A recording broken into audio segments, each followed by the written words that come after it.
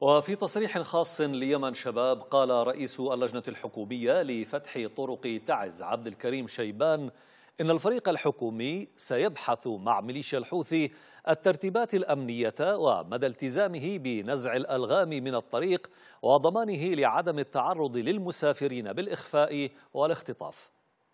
قلنا لهم إذا أنتم صادقين آه، سنتواصل معكم نناقش في التفاصيل. يعني آه نتواصل معهم يمكن بعد بعد الآن بعد التصريحات نتواصل معهم ونتفاهم على أمور كثيرة جدا على الترتيبات الأمنية على قضية ازاله من عندهم كل السواتر الترابية والخرسانية وعدم التعرض للناس وعدم اختطاف الناس وعدم التعرض للناس لأي ألغام. نتناقش معهم بالتفاصيل هذه كلها. إذا الأمور مشيت بالسلاسه وصدقوا إن شاء الله من يوم من يوم غدا أو بعد غدا تفتح الطرق. إذا يعني إحنا متواجدين على مر الساعة.